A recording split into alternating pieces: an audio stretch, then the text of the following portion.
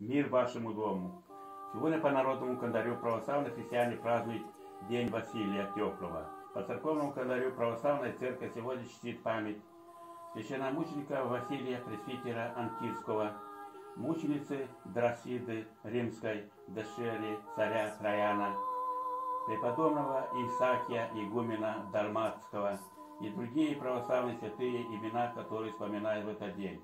Поздравляем всех с праздником, всех, кто родился в этот святой день. Желаем здоровья, счастья и благополучия.